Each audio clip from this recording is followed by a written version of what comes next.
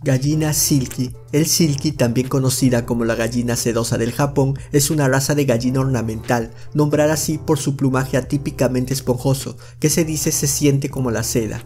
La raza es conocida por su personalidad increíblemente amigable, que combinada con su aspecto inusual la hacen una mascota increíble.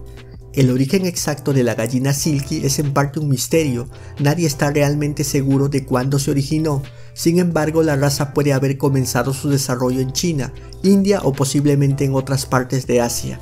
Llegaron a Europa hace unos 200 años y llegaron al Reino Unido a mediados de la década de 1880. Las gallinas silky fueron admitidas por primera vez en el estándar de perfección avícola americana en 1874. Actualmente esta raza de gallina se mantiene con fines ornamentales y de exposición.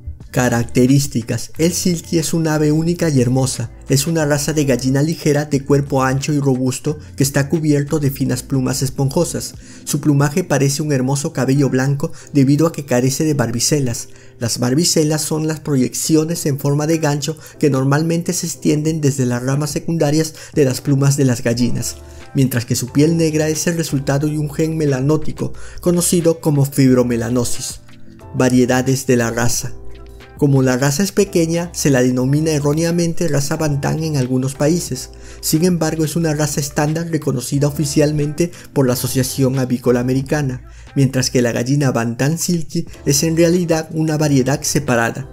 El silky aparece en dos variedades distintas, barbudas y no barbudas. La variedad barbuda tiene un manguito extra de plumas debajo del área del pico que cubre los lóbulos de las orejas. Las gallinas silky vienen en diferentes colores, entre los más populares tenemos blanco, negro, perdiz, buff, gris y azul.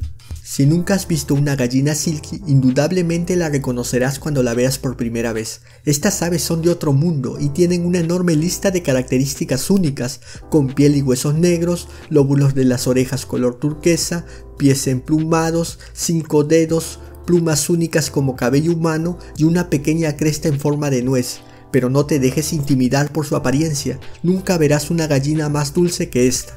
Temperamento de la raza. El silky muestra un temperamento tranquilo, confiado y amable. No pueden volar y se pueden mantener fácilmente con cercas bajas. Usualmente hacen poco o ningún daño al jardín si se les da libertad. Producción de huevos. Las gallinas silky producen una poca cantidad de huevos de color crema, pero son grandes madres, incluso son supremamente felices de incubar los huevos de otras aves, por lo tanto se usan con frecuencia como madres sustitutas. Historia. No se sabe exactamente dónde o cuándo aparecieron estas aves con su singular combinación de atributos, pero el punto de origen mejor documentado es la antigua China. De ahí otro nombre encontrado ocasionalmente para estas aves, la gallina de seda china. Otros lugares en el sudeste asiático han sido nombrados como posibilidades, como la India. Antecedentes históricos. En el siglo VII, Marco Polo hizo mención de una gallina con plumas similar a cabellos humanos y piel negra, obviamente refiriéndose a estas aves inusuales durante sus viajes por Asia. En 1598, Ulisse Aldrovandi, escritor y naturalista de la Universidad de Bolonia en Italia, publicó un tratado exhaustivo sobre pollos que todavía se lee y se admira en la actualidad.